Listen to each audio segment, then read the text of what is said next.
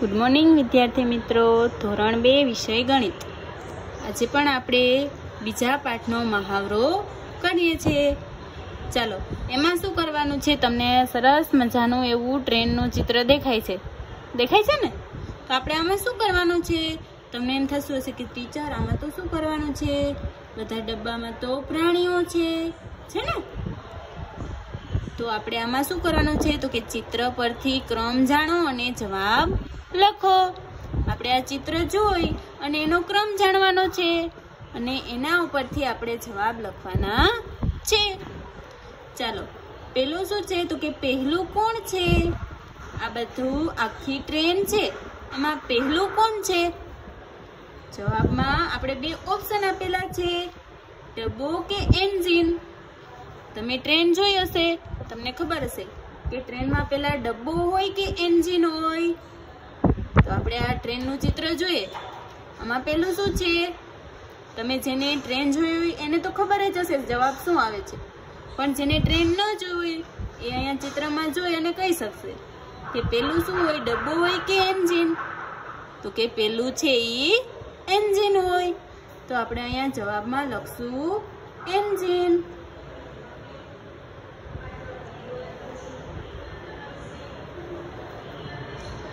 એવી જ રીતે હવે આપણે બીજો પ્રશ્ન જોઈએ. શું છે બીજો પ્રશ્ન? તો કે છેલ્લું કોણ છે? છેલ્લું કોણ છે? ટ્રેન જો જોઈએ ટ્રેનમાં છેલ્લું કોણ છે? જો જોઈએ અહીંયા. શું છે છેલ્લું? આપણે એના માટે બે ઓપ્શન આપેલા છે. ડબ્બો અને એન્જિન તો ટ્રેન જોવો જોઈએ. છેલ્લું શું છે? તો કે ડબ્બો. તો આપણે એનો જવાબ લખશું ડબ્બો હવે આપણે ત્રીજું જોઈએ. પાંચમું કોણ છે? ટ્રેન છે. એમાં પાંચમા નંબર ઉપર કોણ છે? એના આપણે બે ઓપ્શન આપેલા છે. ઝીબ્રા અને ઘોડો. પેલા તો પાંચમો નંબર કયો છે? તો કે પેલું, બીજું, ત્રીજું, ચોથું અને પાંચમું. પાંચમો ક્રમ આ છે. હવે આપણે બે ઓપ્શન આપેલા છે. કયા કયા? તો કે ઝીબ્રા અને ઘોડો. આ છે ઝીબ્રા છે કે ઘોડો? કયું છે પ્રાણી? તો કે ઘોડો. તો આપણે અહીંયા લખશું ઘોડો. હવે ચોથી ખાલી જગ્યા જોઈએ. જીરાફ કયા ક્રમમાં છે? આખી ટ્રેન છે. એમાં જીરાફ કયા ક્રમમાં છે? આપણે ઓપ્શન આપેલા છે ચોથા કે ત્રીજા ક્રમમાં? તો આપણે જોઈએ કે નહીં, આ પણ જીરાફ નથી. જીરાફ કેવું હોય પેલા તો? લાંબી એવી ડોકવાળું. હોય ને? કયું જીરાફ છે? ચોથું કે ત્રીજું? આ બેમાંથી તમને કયું જીરાફ લાગે છે? તો કે આ, કયા ક્રમમાં છે? ત્રીજા ક્રમમાં. તો આપણે અહીંયા જવાબ લખશું ત્રીજા. ચાલો હવે પાંચમું જોઈએ. ઘોડો કયા ક્રમમાં છે? પેલા તો આ ચિત્રમાંથી ઘોડો જો તો કે અહીંયા છે ઘોડો. કયા ક્રમમાં છે? પાંચમા ક્રમમાં. આપણે ઓપ્શન બે છે પાંચમા કે ચોથા? તો આપણે જવાબ શું લખું પાંચમા ક્રમમાં.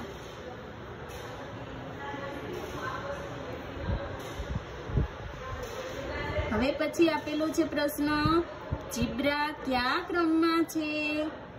એના બે ઓપ્શન આપેલા છે. સાતમો કે છઠ્ઠો? કયા ક્રમમાં છે જીબ્રા આપણે આમાં જોઈએ જીબ્રા ક્યાં છે? કેવું હોય જીબ્રા તો કે પટ્ટા પટ્ટા વાળું હોય ને? વ્હાઈટ કલરનું હોય અને એમાં બ્લેક એટલે કે કાળા કલરના પટ્ટા હોય. તો કે આ છે જીબ્રા હવે કયા ક્રમમાં છે? છઠ્ઠા ક્રમમાં. તો આપણે એનો જવાબ લખશું છઠ્ઠા. હવે સાતમી ખાલી જગ્યા જોઈએ. છઠ્ઠા ક્રમમાં કોણ છે? હાથી કે ઝીબ્રા. આપણે હમણાં જ જોયું, છઠ્ઠો ક્રમ કોણ છે? તો કે ઝીબ્રા છે. તો આપણે એમાં લખશું ઝીબ્રા. હવે આઠમું જોઈએ. સિંહ કયા ક્રમમાં છે? સિંહ છે એ કયા ક્રમમાં છે? પહેલા કે સાતમા? જો જોઈએ અહીંયા. સિંહ છે કયા ક્રમમાં છે? જોવો જોઈએ પેલા કે સાતમા? સાતમામાં તો હાથી છે. તો આપણે આ જોઈએ. કોણ છે? સિંહ. કયા ક્રમમાં છે? પહેલા ક્રમમાં. તો આપણે અહીંયા લખશું પહેલા. હવે એના પછીનું જોઈએ. બીજા ક્રમમાં કોણ છે? કોણ છે બીજા ક્રમમાં? ઊંટ કે વાઘ? ચિત્ર જોવું જોઈએ. કયો ક્રમ કીધો છે આપણે? બીજો ક્રમ. આ છે બીજો ક્રમ. કોણ છે એમાં? ઊંટ છે કે વાઘ? તો કે વાઘ. આપણે અહીંયા લખશું વાઘ. હવે દસમા નંબરનું.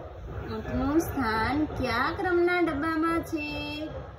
ચોથા કે પાંચમા? ચિત્રમાંથી ઊંટ શોધો જોઈએ. તો કે આ છે ઊંટ. ઊંટનું સ્થાન કયા ક્રમના ડબ્બામાં છે? ડબ્બાનો ક્રમ કયો છે?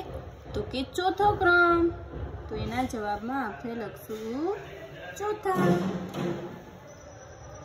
ચાલો, આ ખાલી જગ્યા આપણે પૂરી લીધી. હવે તો કે ચિત્ર પરથી ક્રમ જાણો અને જવાબ લખો. આપણે અહીંયા ક્રમ જાણી અને જવાબ લખવાના છે. પહેલા ક્રમમાં ખાલી જગ્યા છે. આપણે અહીંયા ચિત્ર જોઈને જવાબ આપવાનો છે. પહેલા ક્રમમાં કોણ છે? મોર કે ચકલી? પેલો ક્રમ આ છે. શું છે? તો કે ચકલી છે. તો આપણે અહીંયા લખશું ચકલી. હવે બીજું જોઈએ. ચકલીનો ક્રમ ખાલી જગ્યા છે. પહેલો કે બીજો? ચકલી અહીંયા છે, એનો ક્રમ કયો છે? પહેલો. તો આપણે અહીંયા લખશું. પહેલો. હવે ત્રીજું જોઈએ, પોપટનો ક્રમ ખાલી જગ્યા છે. એટલે તો આપણે આ બધા ચિત્રમાંથી પોપટને શોધીએ ચાલો, આ તો ચકલી છે. એ પણ નથી, આ તો કબૂતર છે. આ છે કાગડો. આ છે પોપટ. ચલો, પોપટ મળી ગયો આપણે. હવે આપણે એનો ક્રમ શોધવાનો છે. ક્રમ કયો છે? તો કે ચોથો છે. તો આપણે અહીંયા લખશું ચોથો. છઠ્ઠા ક્રમમાં ખાલી જગ્યા છે. છઠ્ઠા ક્રમ જોવો જોઈએ. તો કે અહીંયા છે છઠ્ઠો ક્રમ. એમાં કોણ છે? આપણે બે ઓપ્શન આપેલા છે, પોપટ અને સમડી. આ છે છઠ્ઠો ક્રમ. શું છે આ? સમડી છે. તો આપણે અહીંયા લખશું સમડી સાતમા ક્રમમાં ખાલી જગ્યા છે. મોર અને સમડી કોણ છે? મોર છે કે સમડી પેલા તો સાતમો ક્રમ શોધો. આ છે સાતમો ક્રમ. જો જોઈએ કોનું ચિત્ર છે? તો કે મોરનું છે. તો આપણે એમાં લખશું મોર. હવે છઠ્ઠું જોઈએ કાગડો ખાલી જગ્યા ક્રમમાં છે. કાગડો જોવો જોઈએ ચિત્રમાં, તો કે કાગડો અહીંયા છે. કયો ક્રમ છે? ત્રીજો. તો આપણે અહીંયા લખશું ત્રીજા ક્રમમાં. કબૂતરનું સ્થાન ખાલી જગ્યા છે. બીજું કે ત્રીજું? કબૂતર જોવો જોઈએ તો કે આ છે કબૂતર. કયા સ્થાન ઉપર છે? બીજા સ્થાન ઉપર. તો આપણે અહીંયા લખશું. બીજું સ્થાન. હવે છે બતકનું સ્થાન. ખાલી જગ્યા છે. ચિત્રમાં જોવું જોઈએ બતક. છઠ્ઠું કે પાંચમું? બતક ક્યાં છે? તો કે અહીંયા છે બતક. કયું સ્થાન છે એનું? પાંચમું. તો આપણે જવાબમાં લખશું. પાંચમું. ચાલો, હવે આપણે અહીંયા મણકા ગણો અને સાચા અંક પર ગોળ કરો. ચાલો, મણકા છે આપણે ગણવાના છે અને જે સાચો જવાબ હોય, એની ઉપર આપણે ગોળ કરવાનું છે. ચલો, પેલું આપણે જોઈ લઈએ કે આમાંથી ગણશું આપણે કેટલા મણકા છે, જે જવાબ આવશે, એના ઉપર આપણે ગોળ કરશું. ચાલો, ગણો જોઈએ. પહેલા તો આપણે જૂથમાં ગણતા શીખી ગયા. તમને યાદ છે ને? એવી જ રીતે આપણે અહીંયા ગણીએ. પહેલાં તો આપણે એક આ જૂથ જ ગણી લઈએ કે એક, બે, ત્રણ, ચાર, પાંચ, છ અને સાત. કેટલા જૂથ છે? સાત છે. એટલે કે આપણે સાત પહેલાં લખશું. ગુણાકારની નિશાની. હવે એક જૂથમાં કેટલા છે? એક લાઈનમાં કેટલા છે? એક, બે, ત્રણ, ચાર, પાંચ, છ, સાત, આઠ, નવ અને દસ. આ બધી લાઈનમાં દસ દસ મણકા છે. તો આપણે અહીંયા લખશું દસ. હવે તો કે સાતનો ઘડિયો દસ સુધી. સાત, દાણ, સિત્તેર. જવાબ આવશે સિત્તેર. હવે આપણે આમાંથી સિત્તેર દેખાય છે. તો કે સિત્તેર અહીંયા છે. એના ઉપર આપણે ગોળ રાઉન્ડ કરશું. હવે આપણે એક વખત જોઈ લઈએ કે આ સિત્તેર જ છે કે નહીં, ગણી લઈએ. તો પેલા દસ છે, પછી અગિયાર, બાર, તેર, ચૌદ, પંદર, સોળ, સત્તર, અઢાર, ઓગણીસ, વીસ, એકવીસ, બાવીસ, ત્રેવીસ, ચોવીસ, પચીસ, છવ્વીસ, સત્યાવીસ, અઠ્યાવીસ, ઓગણત્રીસ, ત્રીસ એકત્રીસ, બત્રીસ, તેત્રીસ, ચોત્રીસ, પાંત્રીસ, છત્રીસ, સાડત્રીસ, આડત્રીસ, ઓગણચાલીસ, ચાલીસ, એકતાલીસ, બેતાલીસ, તેતાલીસ, ચુમ્માલીસ, પિસ્તાલીસ, છેતાલીસ, સુડતાલીસ, અડતાલીસ, ઓગણપચાસ, પચાસ, એકાવન, બાવન, ત્રેપન, ચોપન, પંચાવન, છપ્પન, સત્તાવન, અઠ્ઠાવન, ઓગણસાઠ, સાઠ એકસઠ, બાસઠ, ત્રેસઠ, ચોસઠ, પાસઠ, છાસઠ, સડસઠ, અડસઠ, ઓગણસિત્તેર અને સિત્તેર. તો આ સિત્તેર છે. એટલે આપણે સિત્તેર ઉપર રાઉન્ડ કર્યું. એટલે કે આપણે આવી રીતે ગુણાકારની રીતે કર્યું. એમાં પણ આપણો જવાબ સિત્તેર જ આવ્યો. એટલે કે બધા ગણવા એનાથી આ ગુણાકારની રીતે સહેલું પડે.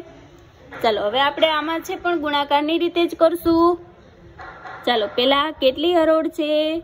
તો કે એક, બે, ત્રણ, ચાર, પાંચ, છ, સાત, આઠ અને નવ. કેટલી લાઈન છે? નવ. એટલે કે નવ જૂથ છે. ગુણાકારની નિશાની. હવે એક જૂથમાં કેટલા છે? આમાં પણ આપણે ગણી લઈએ. એક, બે, ત્રણ, ચાર, પાંચ, છ, સાત, આઠ, નવ અને દસ.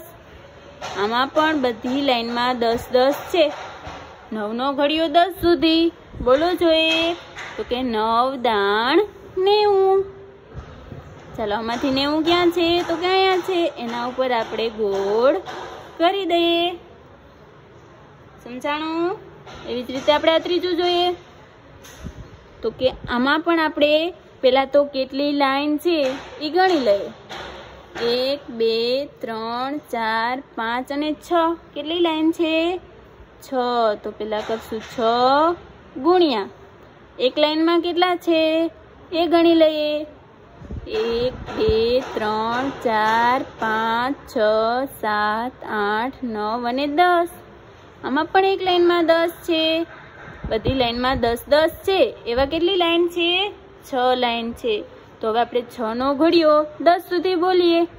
છ દાણ સાઠ. આપણે અહીંયા સાઠ આપેલા છે. એના ઉપર રાઉન્ડ કરી દઈએ. ગોળ કરી દઈએ. ચાલો. હવે આપણે આમાં તો ઓપ્શન આપેલા હતા.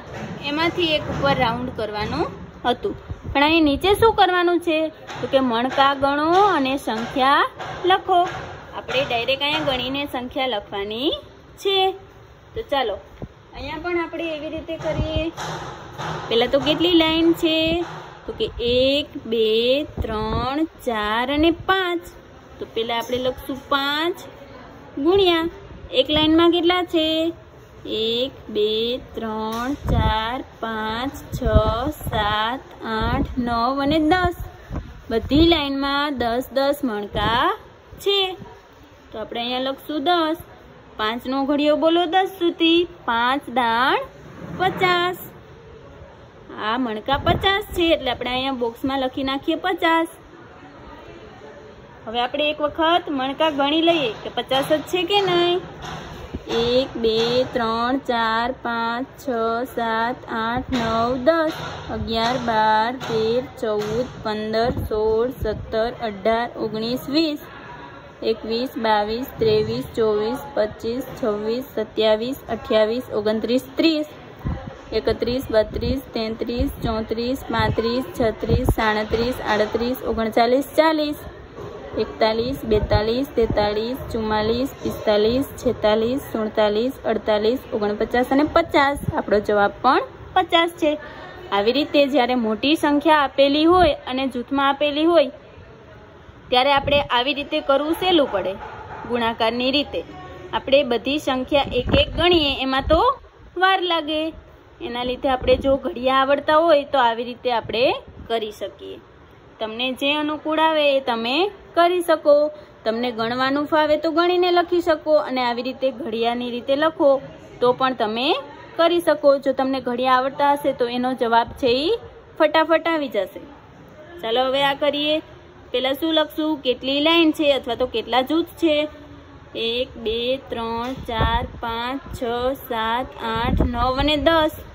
તો કે દસ જૂથ છે, દસ લાઈન છે. હવે એક લાઈનમાં કેટલા છે? એક, બે, ત્રણ, ચાર, પાંચ, છ, સાત, આઠ, નવ અને દસ.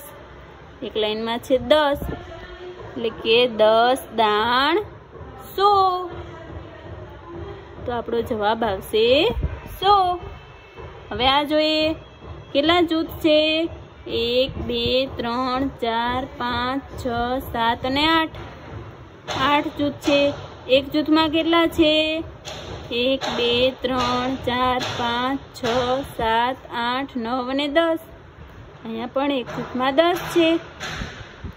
હવે આપણે આઠનો ઘડિયો બોલીએ. દસ સુધી આઠ દાણ એસી. આપણો જવાબ છે એસી. ચાલો, હવે આપણે આ મણકાને ગણી લીધા. હવે નીચે જોઈએ. નીચેના વિધાનો સામે સાચા કે ખોટાની નિશાની કરો. આપણે સાચું છે કે ખોટું એ નિશાની અહીંયા કરવાની છે. દસ દસના ચાર જૂથ એટલે ચાલીસ થાય. તો આપણે પહેલાં એની ગણતરી કરી લઈએ. દસ દસના ચાર જૂથ. જૂથ કેટલા છે? તો કે ચાર જૂથ છે. કેટલા કેટલાના? દસ દસના એટલે કે એક જૂથમાં દસ હશે. એટલે આપણે અહીંયા લખ્યા દસ. ચાર દાણ ચાલીસ.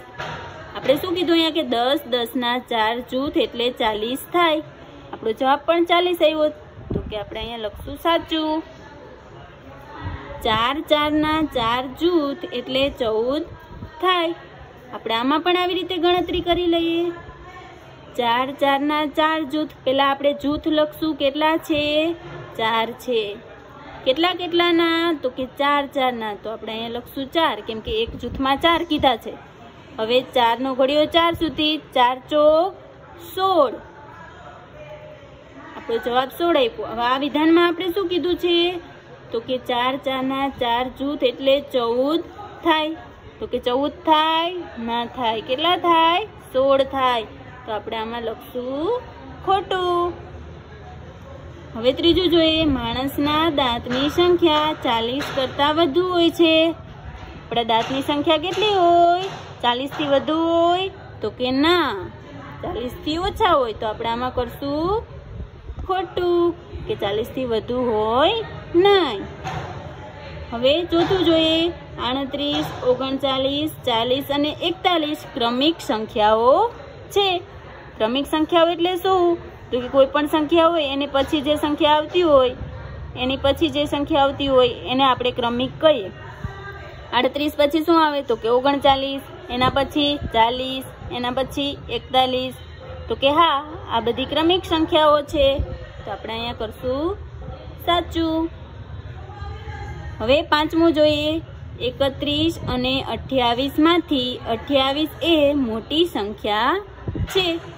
આપણે બે સંખ્યા કીધી છે, એકત્રીસ અને અઠ્યાવીસ. એમાંથી અઠ્યાવીસ એ મોટી સંખ્યા છે, આમાં આપણે એવું પૂછે છે. તો જોવું જોઈએ કઈ સંખ્યા મોટી થાય, તો કે એકત્રીસ છે એ મોટા થાય. તો આપણે તો આમાં અઠ્યાવીસને મોટા કીધા છે, તો આપણે આ વિધાન ખોટું છે. હવે છઠ્ઠી ખાલી જગ્યા જોઈએ. સાતમું સ્થાન દર્શાવવા અંક સાત વડે દર્શાવાય.